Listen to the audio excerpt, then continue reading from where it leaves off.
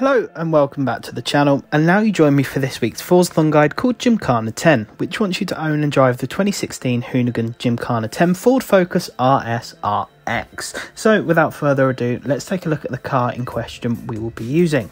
So this is the 2016 Hoonigan Gymkhana Ford Focus RSRX. Set you back half a million credits if you don't own one already or you can probably get one cheaper in the auction house. Also I want to note again I've not done a tune for this week as you really don't need one. Now, the first challenge here wants you to win the Guanajuato Tunnel Run Street Race in your Ford Focus RS. So, to do this, you want to head over to the Tunnel Run Street Race located on the far left hand side of Guanajuato.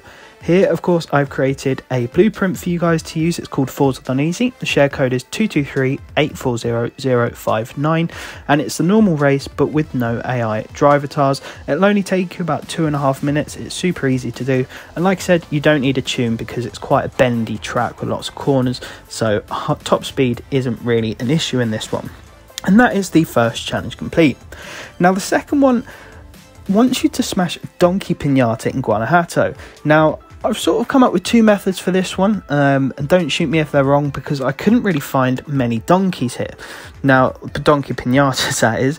Now, the first one is located um, near the Panoramica Sprint uh, normal road race. So there's a little table here with some donkey pinatas on, which you can smash.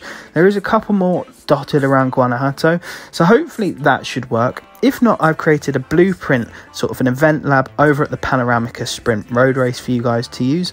So when you head on over here, uh, I've created a blueprint called Donkey Pinata. The share code is 1143254482, and I've just placed some smashable Donkey Pinatas at the start of the race and the finish lines directly after.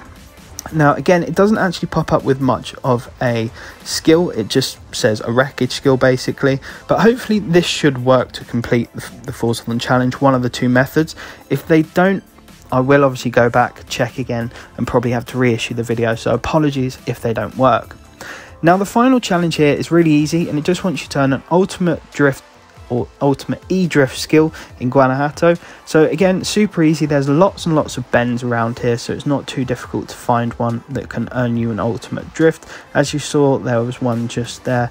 Uh, I'll quickly pop up the map to show you as well where it was. But in general, there's really quite a lot of bends to earn these sort of ultimate drift or e-drift skills. Again, the difference between a drift and an and an e-drift is just the use of a handbrake, so that will give you an e-drift. Or if you just use a normal brake or power over into a steer, that'll get you a standard drift skill.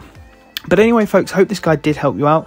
Like I said about the Donkey Pinata one, if they don't work, I will obviously update the video and whatever else. But if they do, then no need for me to do that. But if you are struggling with any of the challenges, please do let me know down below in the comments. I'm more than happy to help you guys out. Um, hopefully it did help you. And don't forget to stick around for this week's photo challenge guide as well. Also, if you're new to the channel, I'd very much appreciate if you could subscribe and drop a like as well. But apart from that, folks, I want to wish you all the best. Make sure you stay safe and take care.